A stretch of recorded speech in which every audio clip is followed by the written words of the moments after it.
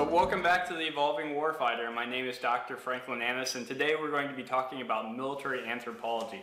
And I'm lucky enough to have a special guest with me today, uh, Dr. Heather Skousgaard hails from the Australian Defence College where she's a research fellow for cross-cultural development. She received her PhD in anthropology from the Australian National University. She is currently a visiting fellow at the Defence Academy of the United Kingdom and researches best practices in cross-cultural leadership. Thank you for joining me today. Thank you for having me. It's a pleasure to be here. It's my official first podcast interview, so be nice to me. I, I, I promise to be nice. Fantastic. So we're going to jump right in today, and I know that we bumped into each other on Twitter several months ago, and the first thing I noticed about your bio is said that you were a military anthropologist, which caused me to reach out and ask one yeah. question. Is there such a thing as an academic field of military anthropology, or are you an anthropologist that works for the military, or why do you use this title, and does the field exist? Or have I just made the whole thing up because it sounds fantastic? Well, it does. Maybe so, oh, I guess it's, I, I, really like the idea of starting with this question because it's, it kind of gives me a historical lever in as to how I got into anthropology. Um, I was doing my anthro PhD uh, at the Australian National University back in around 2010 when I saw this advertisement come around saying that they were looking for, that the Australian Department of Defence was looking to hire an anthropologist. And I remember thinking, sounds really interesting, but what on earth would an anthropologist have to do to contribute something of value to the Department of Defence? It just, it seemed to me like a bit of an oxymoron, the idea that military and anthropology would work together. It had never occurred to me. Um, I now realise that's because I had what I now call sort of the, the brown men in grass skirts version of culture in mind.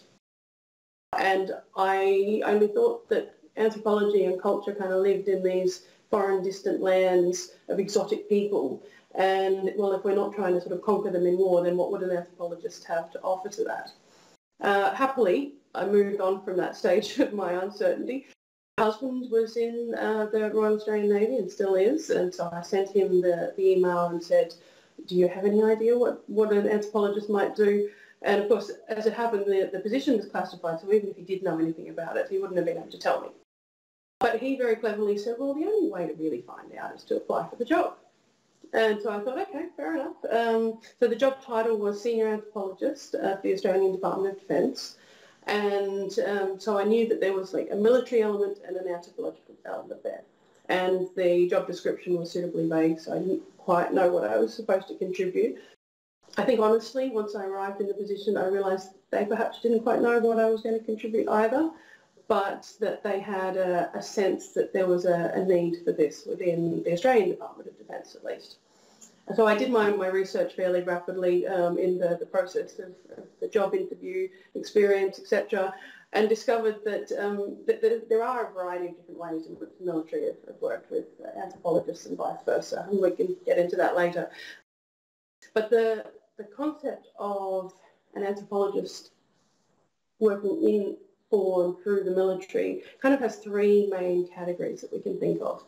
We can think of an anthropologist studying the military and studying military culture, maybe as an outsider, maybe as somebody who was coming in from academia to, to study the military. And when my um, husband's Navy colleagues found out that his wife was doing an anthropological degree, they all assumed, well, she must be doing it on, on us because, you know, we're clearly a bunch of weird people, so we should have an anthropologist study us. I quickly said in response to that that I don't think it's a good idea to mess in your own backyard.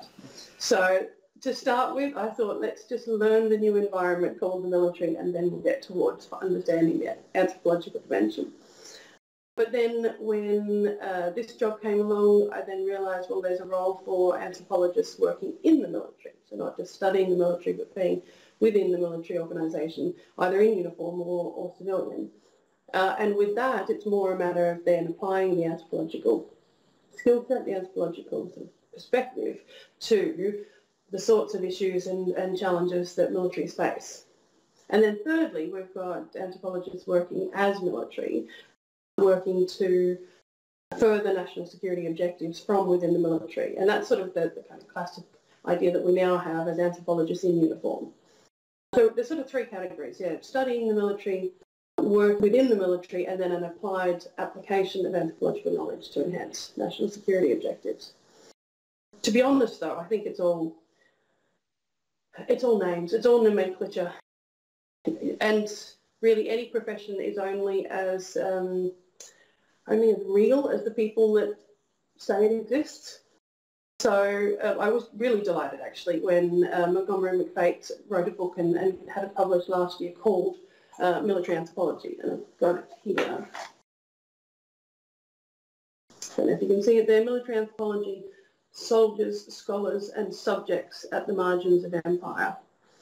And when I saw that, I went, fantastic, I haven't made this up. It really does exist. But again, there's a party of two who agree to, this at the moment, so we'll have to wait and see whether the rest of the crowd agree. We'll go ahead and move on to the next question. I know anthropology captures kind of a lot of other kind of subfields, or I don't want to say subfields, other fields when you study a culture. So that would include their political system, cultural practice, economic systems, really how people interact with each other on a cultural level. How is this type of study of a culture, how is it beneficial for a military to have a, an understanding of a foreign culture how they interact inside that foreign culture as they go mm. places? So I think here what we're talking about is um, perhaps mostly the second type of military anthropology that I spoke about before. So the anthropological study or an anthropological skill set being applied for the military, um, but not being applied anthropological when it comes to, to the sort of themes that one might use within an anthropological skill set towards a military objective, But really it, it comes down, if you think about a definition of anthropology, it's how does an organisation, a social group, a nation perhaps, form an understanding of who it is and, and where it fits in the world? How does it come together to, to form shared values, to negotiate those values, uh, to identify where those values sit alongside other uh, social groups and their value systems. There, there's some fairly standard, there's quite a lot of um, rubrics out there or dimensions of culture. Um, the Marine Corps, of course, have their five cultural dimensions. You can apply any set of sort of acronyms um, to, to identify a, a framework for thinking through the impact of culture on military issues. But for me, there's, there's some fairly consistent ones that come up in, in my work. One of the main ones is just identity and thinking through identity at both an individual level as well as at a, a national um, and organisational level. So when I'm trying to understand uh, a, a, new uh, military organisation that perhaps we're, we're wanting to engage with or perhaps we're trying to understand how they make decisions, I, I want to understand who they are. How, how do they see themselves? You know, go to YouTube and, and Google National Day parades and, and see the sort of the symbolism that represents um, represents who they are as a people. Look at things like the, the language that they use.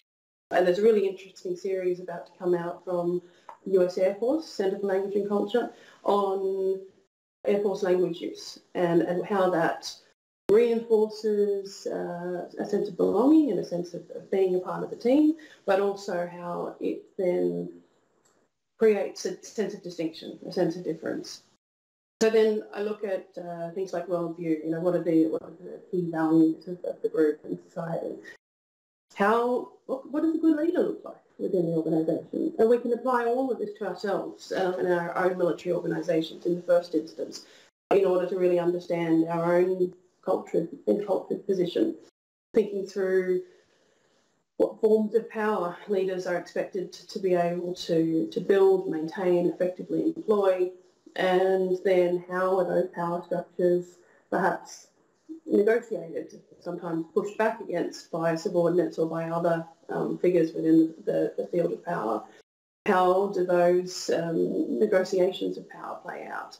uh, and what do we need to understand about how that impacts decision making. And then even just when it comes to the field of decision making, yeah, um, how do decisions get made within the organisation? Um, is it a sort of a, a top-down, bottom-up, a negotiated process, a bureaucratic process?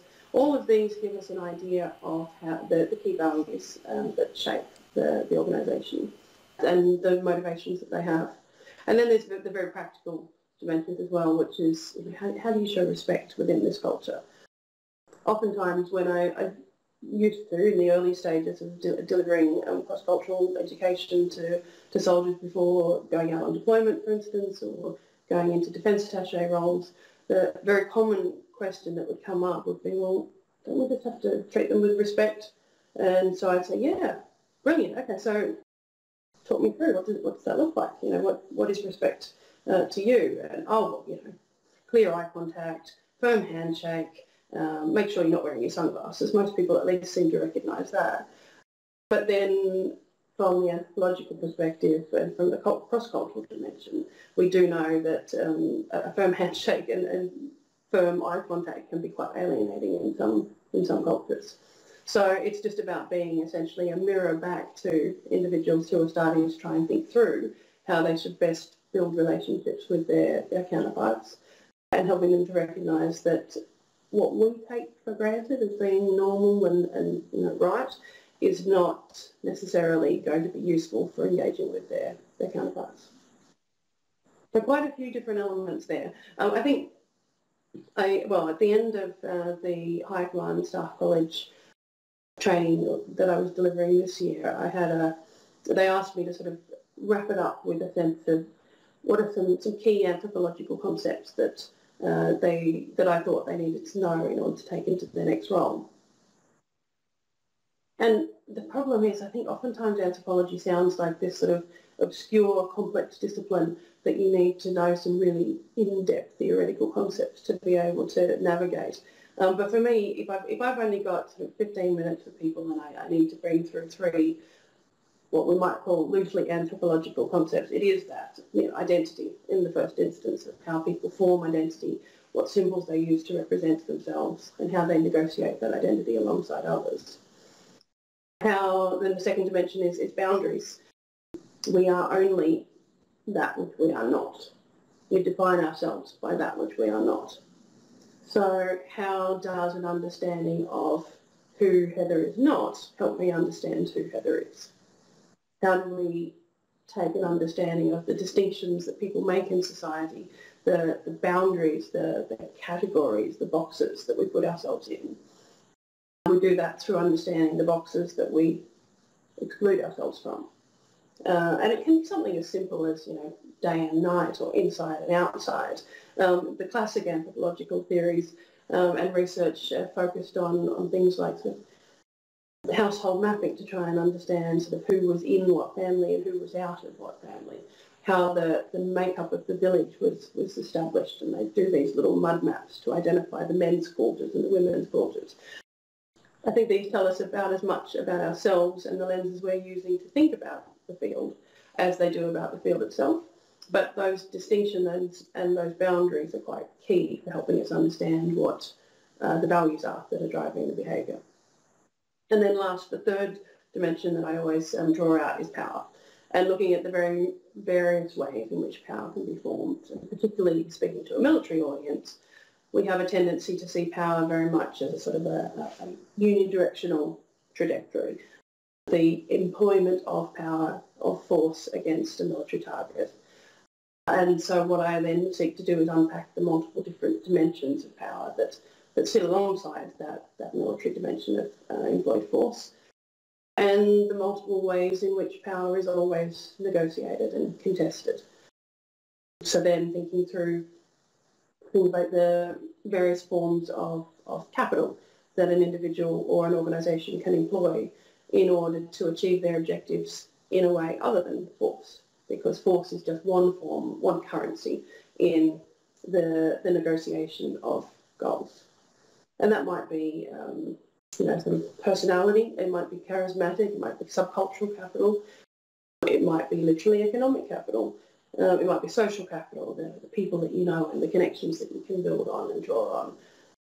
But there's a whole range of different value systems or currencies that we draw on when we're trying to negotiate systems of power. And these are always in contest. So to understand what capital an organisation or an individual is bringing to a game and then how they're competing against others in that game is quite a useful way of understanding the power dynamics within the organisation or subculture. Yeah, I guess there's a lot of useful information there. Reminds me of, like one of my experiences in Iraq dealing with uh, high-ranking high-ranking Iraqi officers. We were told that the, their military valued kind of knowledge more than honesty in some some regard. So if you ask an officer in front of a whole bunch of soldiers a question, he's going to give you an answer, whether that answer is correct or not correct, because it was perceived that their officers always had knew what was going on. So if we were in a situation where we needed an honest answer from uh, from a high-ranking officer, we had to make sure, like, hey, we take him aside, take him outside, away from anyone else, and ask them the question. Because one-on-one, they might individually say, well, we don't know, or give us an entirely different answer.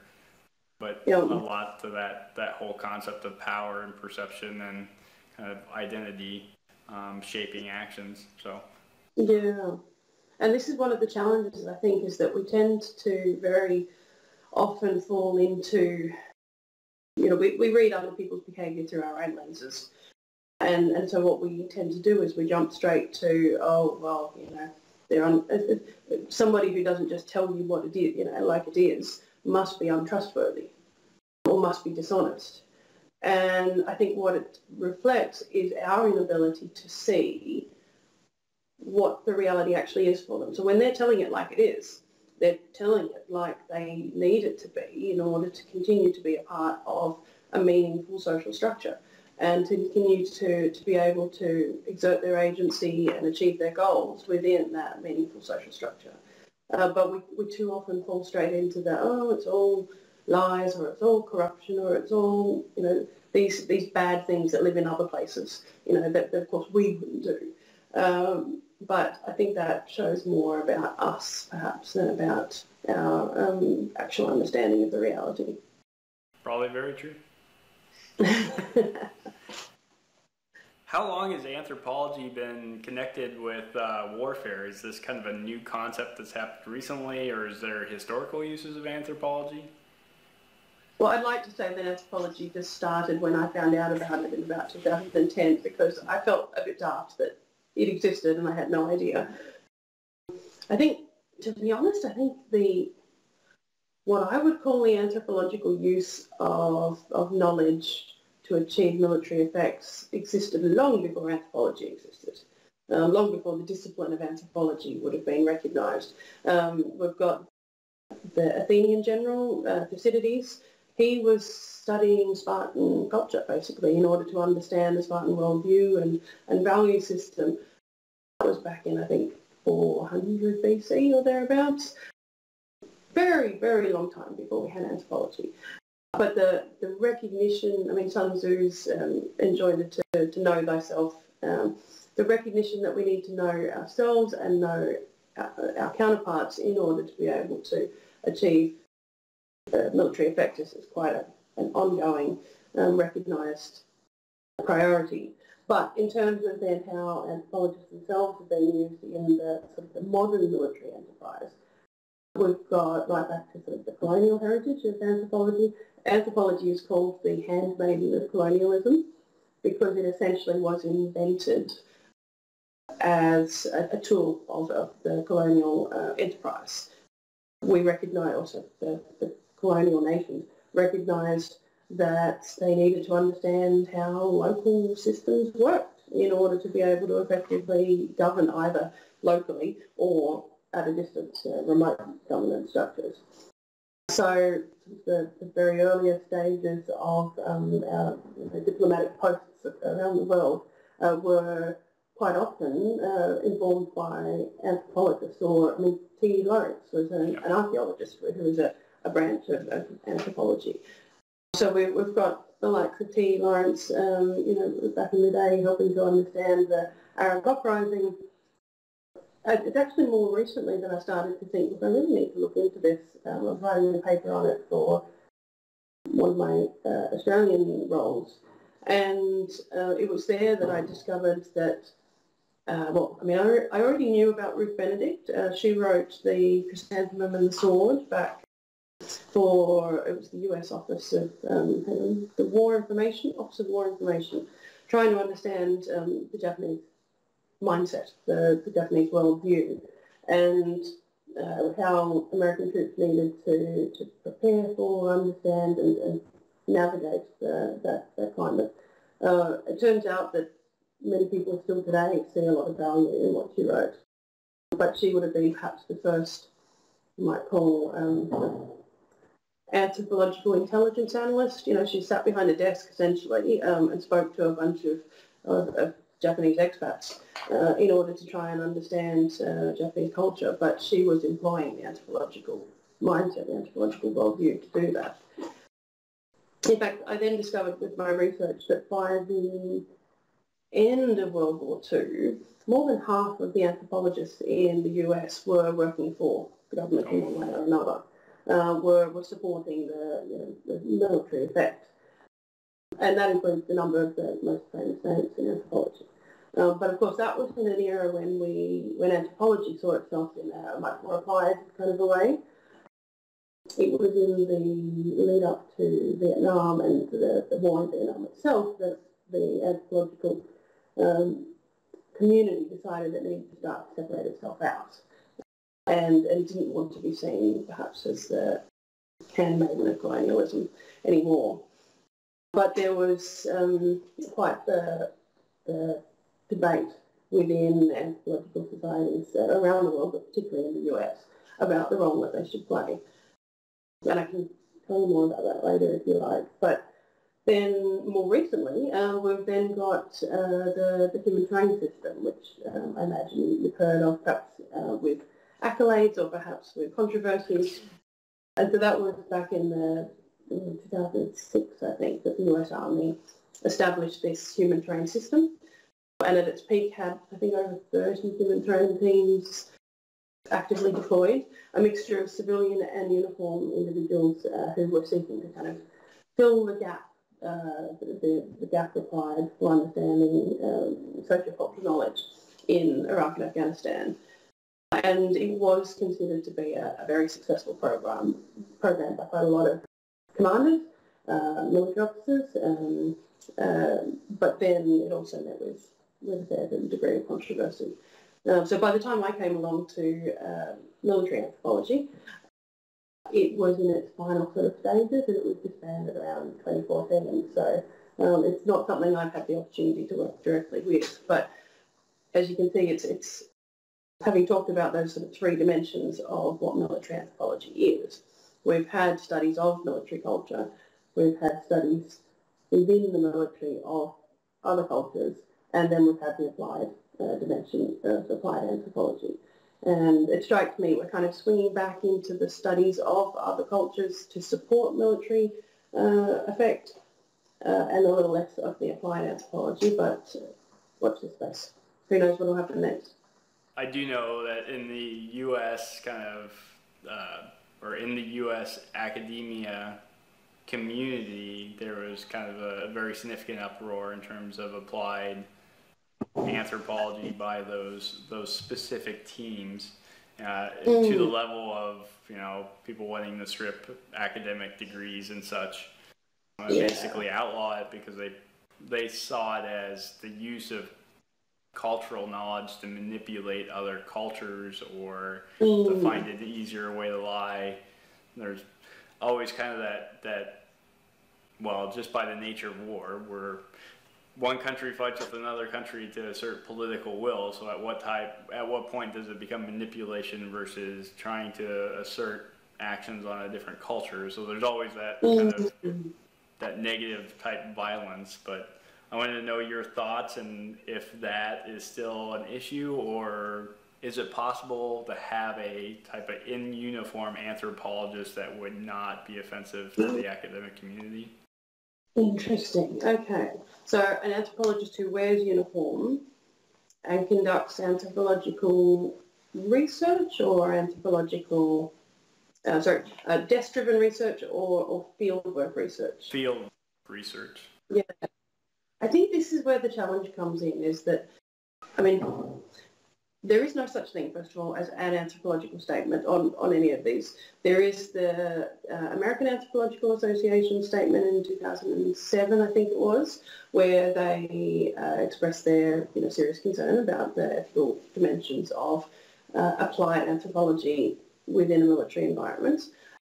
But having said that, they represent the American Anthropological Association, not the Global Anthropological Association. So you go to the UK and you see a different employment of anthropologists in, in the military. You go to um, well, Australia and there's one. You go to, say, France and Germany and you see a, different perspective again. There is increasingly the role of anthropologists working in professional military education institutions like what I'm doing. And that I think is is trying to teach sort of a culturally, not just culturally aware, but culturally attuned uh, officer and soldier, know, how to, to operate and and um, and negotiate the, the military requirements. But as to putting a military member in uniform, or sorry, as to putting an anthropologist in uniform or having a military member who's got an anthropological degree. I do know that there's, there are plenty of military officers who have anthropological degrees, but again, it depends on, you know, sort of, what is it, Groucho Marx who said that um, any club that wants me, I don't want to be a yeah. part of. I, I imagine that quite a few anthropologists have decided, well, I have an anthropological degree, that doesn't mean I need to not, uh, assume the identity of an anthropologist, and I will just employ my my skill set as a military officer. If you were to be doing applied anthropological research, or field work, a lot of anthropologists would, would be concerned about the, the notion of voluntary consent, like psychologists as well. Um, there's, a, there's a dimension that uh, in order to maintain sort of ethical standards of research, the participants in any research project need to have uh, the ability to make both voluntary and informed consent towards the participating in the research project. And that was one of the concerns that came up under the human terrain system was to what extent can you really voluntarily agree to share knowledge about your, your local household needs and the local community if you've got somebody you know, in a uniform alongside people who are carrying weapons and for all intents and purposes you look like a military force how many people will go, oh, well, actually, I'd really rather not chat today. So there, there's that dimension to it. But those anthropologists who are contributing their, their expertise towards understanding military issues, there's also the concern there that the old adage, do no harm, first do no harm, whilst that's um, not necessarily a comprehensively signed on to anthropological principle, it is, is broadly accepted.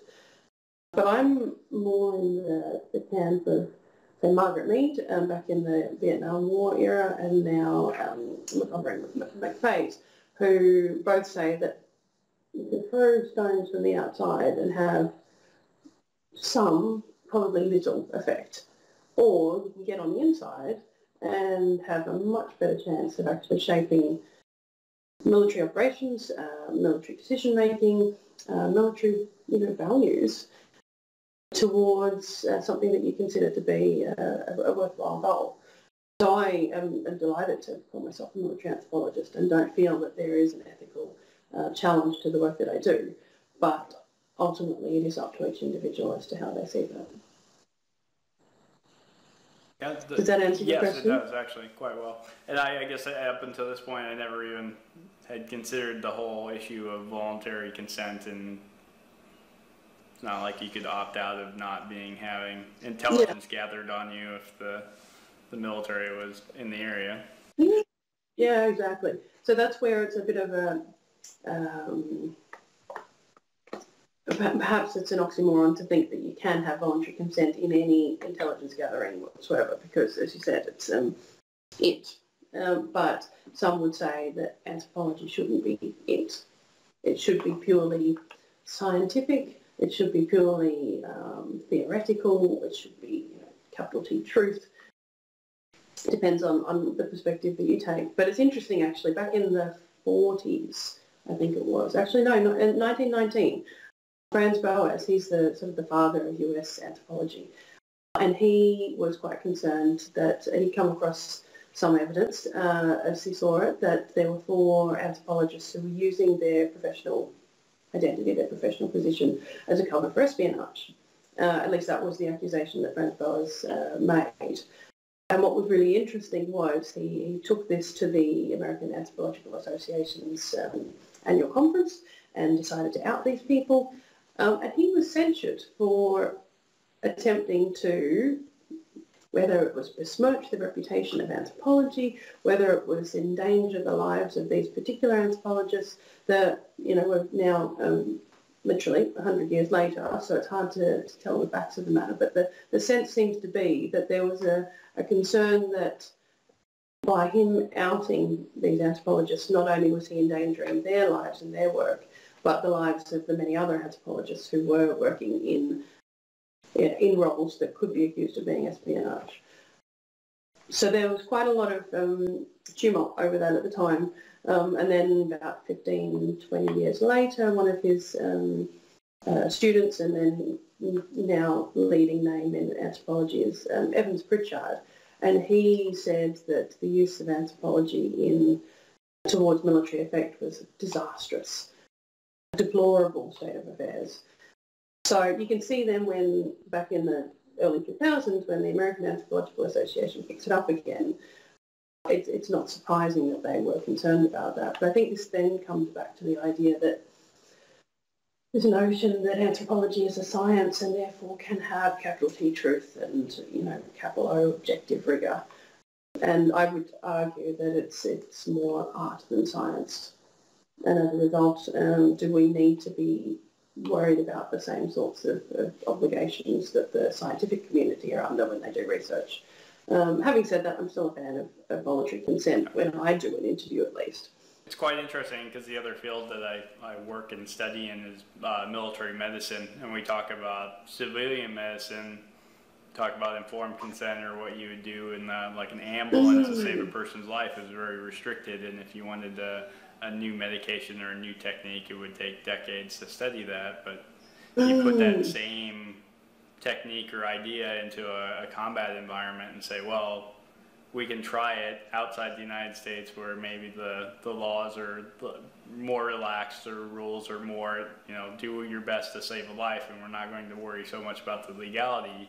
You see a mm. lot of incredible technology and techniques coming out of military medicine that then quickly gets absorbed by the rest of the civilian community because they haven't been able to, to study certain things. So I think there's always going to be that tension between trying to be honest, trying to search for truth, trying to be protective of individuals, and then that kind of more dangerous side of science to say, well, why don't we try it and, you know, advance the science without yeah. the limit, but then there's also other major kind of moral consequences uh, in that yeah. regard.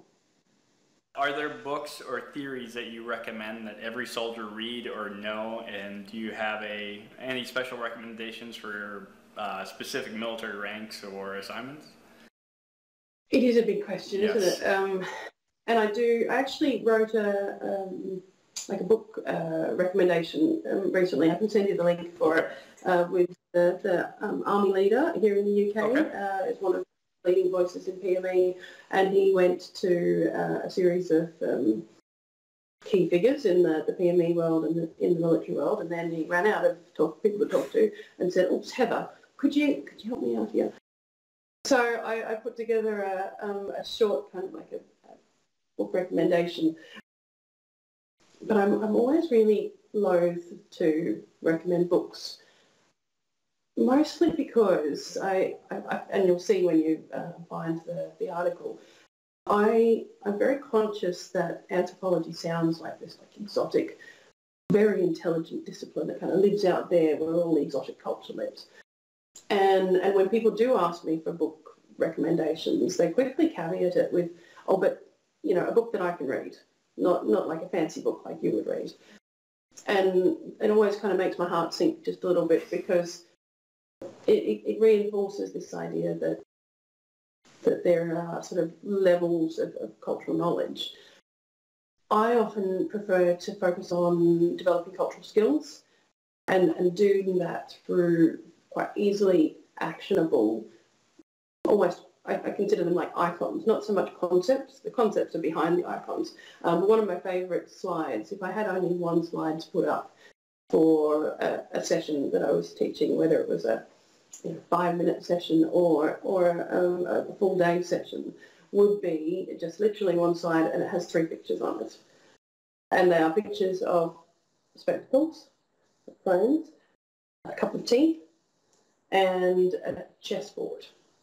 Because I like to think of culture um, in these very sort of accessible concepts that you can then, when you're in the midst of quite a complex cross-cultural encounter, cross-cultural reality challenge, how many of us are going to pull out some really great obscure definition of what culture is or, you know, the, the um, five dimensions of culture or the 17 dimensions of cross-cultural variation, whatever it might be. I think cultural training tends to, well, it falls into two camps. It, it talks about either sort of the series of do's and don'ts that you should be, be thinking of, you know, make sure Remember, left hand, right hand, don't show the soles of your feet. Don't talk about the, you know, the family too much, but do show an interest. You can end up being paralysed by a long list of, oh, hang on, this culture is going to have these value systems, so I must remember not to pat the child on the head, you know, whatever it might be. And that just, that, that's essentially giving people straitjackets before they're heading into very complicated environments. Um, I prefer to focus on the do's. If we're going to do do's and don'ts, focus on the do's. And I prefer to focus on these simple, actionable concepts, these icons. So if we've got a, a couple of minutes, I can run you through what those, yes, those three dimensions are. And yes, I do have book recommendations I can give you, so I'll give you that as well. But uh, when I talk about culture as a frame, I literally do mean these frames. And the fact that you and I are both wearing spectacles means that we're very familiar with what glasses do, which is that they help us see. You know, they help us perceive the reality that's in front of us. They, they turn objects into clarity, into something that's, that's objective, clear, actionable, factual, you know, capital T truth. And what they do then is in clarifying certain realities, they also obscure certain other realities, certain things that we, we simply, maybe we see, but kind of in through through a glass dimly. Perhaps they're they're just a little bit blurry, or perhaps our glasses are literally like blinkers and they simply don't exist. These other realities don't exist. So culture then in that way clarifies certain realities but obscures others. The great thing about recognising culture as a frame is that I can take my spectacles off and I can give them to you and you can look through my frames. Hmm. And to be honest, I'll probably make you feel quite sick to start with because I have a different prescription to you, etc. Um, but even that, that element of, of, you know, physical reaction to the frames of another is an example of how we are encultured beings, of how we respond to our environment through these things that make everything feel steady, calm, the way it should be.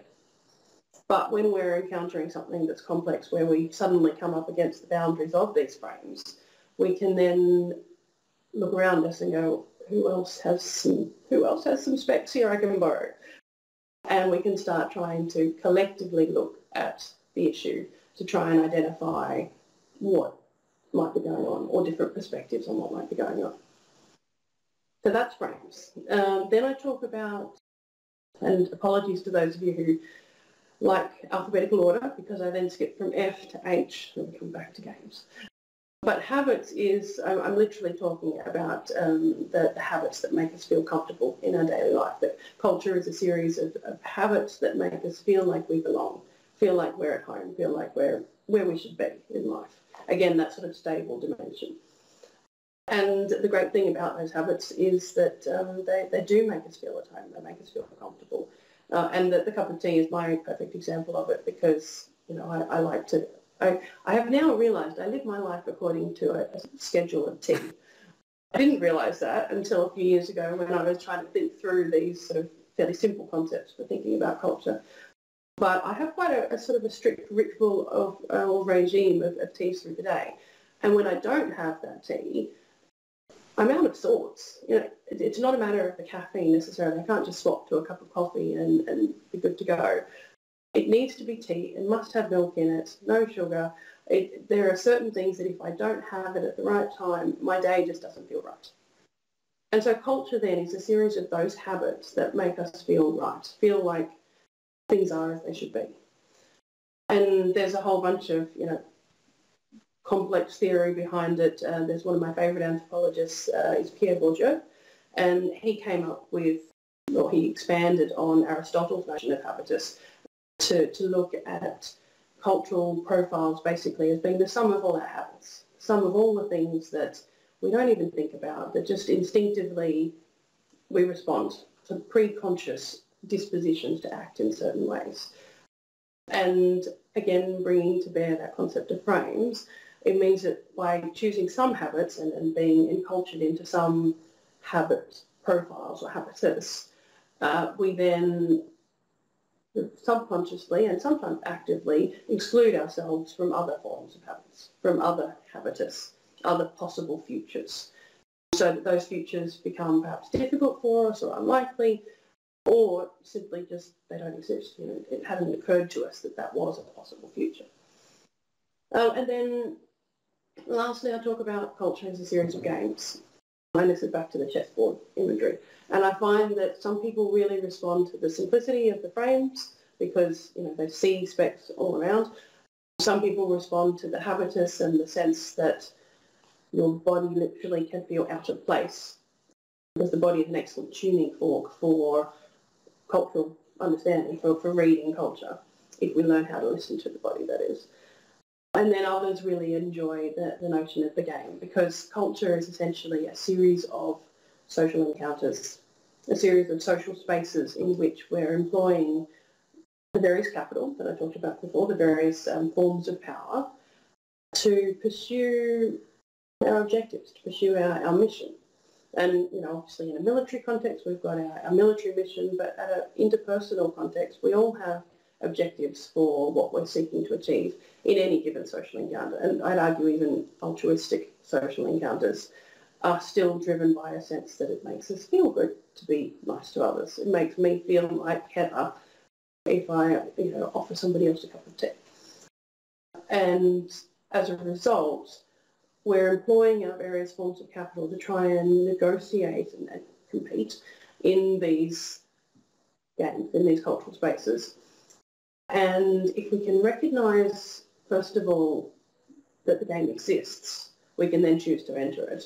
And when we're thinking at a, at a national security or, or at a strategic level, to try and understand global political uh, order, we need to understand the games that are being played, you know, what the, the key players are seeking to achieve. But even at an interpersonal level, when somebody's trying to get attention to order a coffee at a coffee shop, they're also playing a game.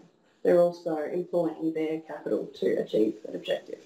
And they have to, first of all, identify the game they're trying to play, but then second, identify who the other players are in the game. Who else is competing for the barista's attention? What capital do I have that I can get a bit more attention from the barista than the other guy? Might be queue capital here in the in the UK. Queue capital is very important. Standing in the queue for the prescribed amount of time, knowing your place um, in the queue and your place relative to the other players.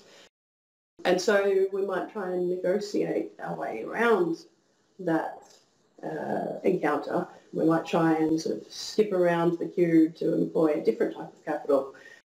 But the game is structured by the rules that the players agree. So whilst it won't necessarily be objectively stated, very seldom is uh, cultural games objectively stated as to what the rules are. Those rules are always in negotiation by the various players of the game. So A, we need to find out, does the game exist? B, we need to find out who are the other players. C, how can I leverage my capital in order to compete more effectively in this game? And then ultimately, how do we know when the game's been won? Yeah. How do we know that it's it's over? Coffee shop, very straightforward. I had my coffee, good. I don't think they spat in it, good to go. National security, much more difficult. Uh, international relations, much more difficult to know. And that's why it's key that we accurately identify the game that's being played at the outset and continue to be alert to the fact that the game may well have morphed into multiple other games depending on the players that have now come into it and their relative position in that game. So that's a very long-winded way of saying uh, there are a lot of complex theories out there, and if you want, I'd be delighted to give you details on Pierre Bourdieu and his very obscure practice theory and the theory of capital. I'm a mad Bourdieuian fan, but practically speaking, I think it's quite helpful to have these very actionable icons in the back of our mind where we can remember that image of the spectacles or remember the image of the cup of tea or board game and then employ that in the heat of the moment, so to speak. Because I think that, well, research has shown that when it comes to cultural intelligence, you know, the ability to be effective in a wide variety of cross-cultural encounters, it's not about the knowledge. It's not about the, you know, the do's and don'ts or the 101 points that point us to understanding Iraqi culture. It's, it's not even about doing the cross-cultural encounter. It's not just about being able to adjust your body language and your pace of speech and your vocabulary. It's actually about the, the sense of motivation. It's about the sense of self-efficacy that I can do this dimension and I want to do this because it's fun, you know, I'm good at it, uh, it's going to enhance my career, whatever it may be. But out of the the four dimensions of the CQ construct, the fourth one being the ability to plan for a cross-cultural encounter, it's motivation, it's the, the, the you know, self-efficacy that really is the powerhouse of culturally intelligent behaviour. And so I'm in the process of trying to shift um, cultural training, at least for the Australian Defence Force, away from the, the do's and don'ts, which are very essential, into the I can do this space. I, we are all already cultural experts. You know, you, you are fluent in your subcultural norms. It's about learning how to employ that fluency in a culturally unfamiliar environment. So if we can build on that sense of self-efficacy and, and um, confidence, then there's no reason why we can't adapt to the next cultural environment. I really like the analogies. I particularly like the analogy of the game.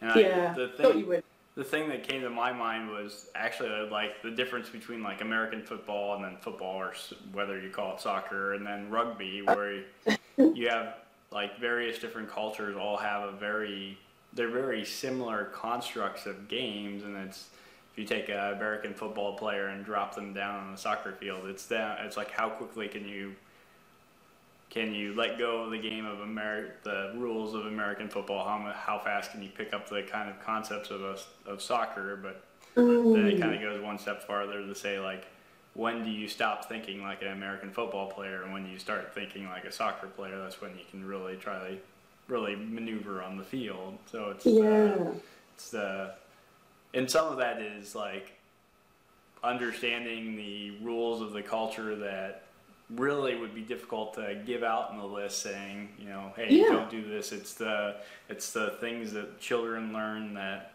aren't very well communicated or just kind of that knowledge mm. of what to do mm. when and how to pick up on the kind of the hidden rules of the society. Exactly. And that's why culture is really in the doing. So that's why Pierre Bourdieu described it as practice theory.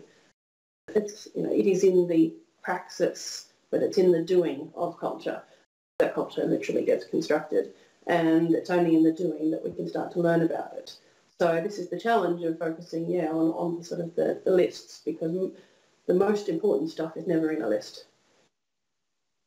Having said that, though, I did promise to give you some um, book references. Uh, and for those that uh, are interested, I can send you uh, more details about Pierre Bourdieu. But his outline of the theory of practice is where he talks about um, practice theory. His book called Distinction is where he digs into the notion of difference and how we distinguish ourselves from others. Okay. But both of those, in the first instance, I'd suggest perhaps Wikipedia it because his, his uh, language style is very French, because he is a Frenchman or was a Frenchman, and very obscure. So for those that like a, um, a real challenge, um, they'll enjoy reading Bourdieu. And just give yourself a whole weekend to read a chapter and, and that's sort of the speed at which you typically take these things. For those that are looking for something that's sort of more practically oriented, um, I've got two recommendations. Uh, one of them is the, the book that I recommended uh, through the, the Army Leader um, summer book reading list, and that's um, Leading with Cultural Intelligence by David Livermore. And he is looking at that notion of CQ that I mentioned before, cultural intelligence. And CQ is perhaps seen as sort of the next step of EQ. You know, we know we've got IQ, intelligence quotient, EQ being emotional intelligence, and now CQ. And, and CQ is quite similar in many ways to EQ, but it's the ability to employ your skills at reading others and your ability to manage and moderate your own behaviour in order to successfully influence others, but in a culturally unfamiliar environment.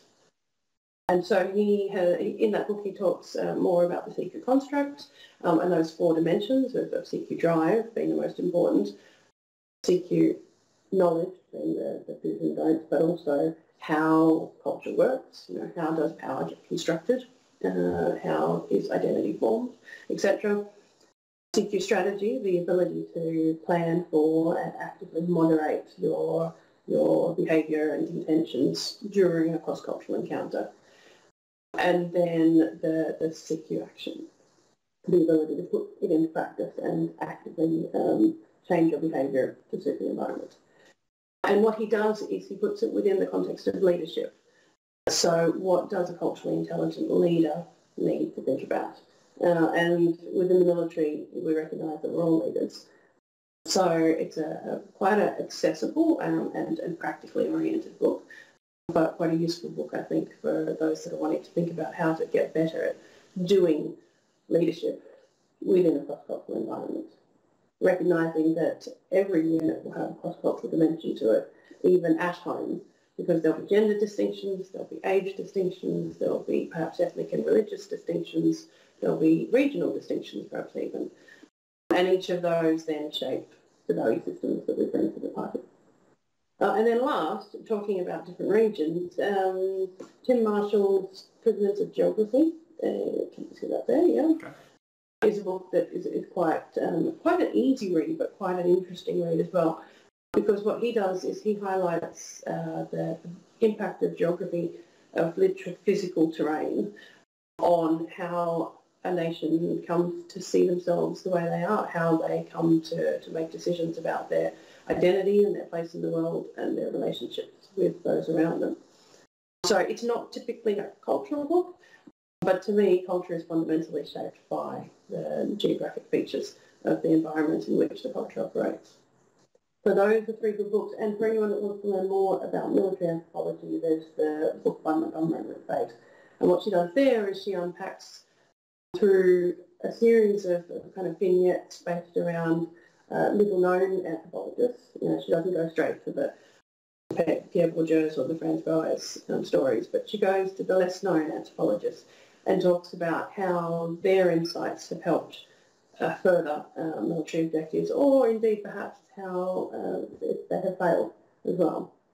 So it's quite a good book for thinking through things like what can anthropology tell us about leadership and the ability to, um, you know, gather and, and garner the, the, support of a, a loose coalition of, of partners. Um, so definitely recommend that. Everything from, yes, the, the practical do's and don'ts in the David Livermore book through to the very obscure but fascinating Pierre Bourdieu. Okay. Well, for the audience out there that wants to see kind of more of your work, uh, do you have any social media that we can follow you on or websites or anything? Yeah, Yep, um, and no doubt you'll pop this up in a little text box at some point for us. But uh, my, my Twitter handle is um, something that I thought about well before I ever thought I was going to have an actual profile. So it's at Skousk, which is not a very useful uh, handle by any means, but S-K-O-U-S-G being my name, Heather Skousgaard, but short enough that you can fit it into the um, character set that we've all limited to.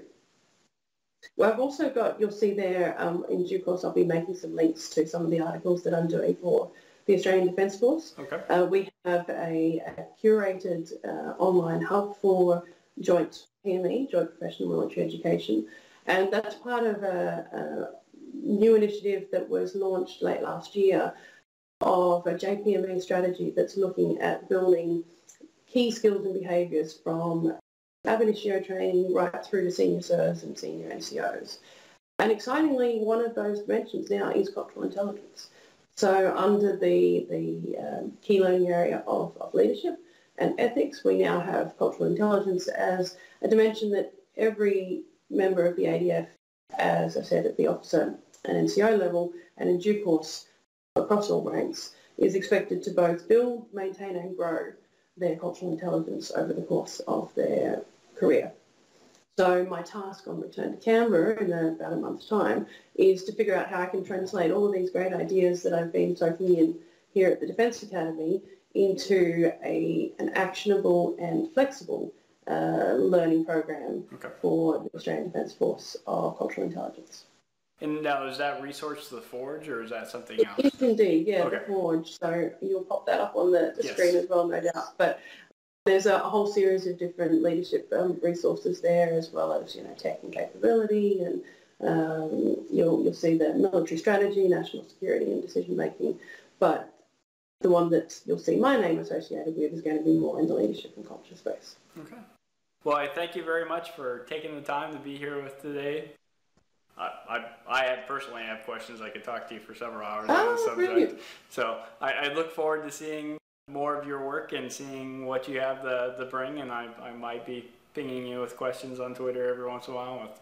That sounds perfect. I look forward to it.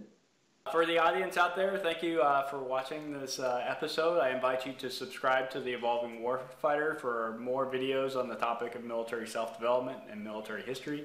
And until next time, focus on your self-development so we can ensure that we can dominate the modern battlefield. Thank you.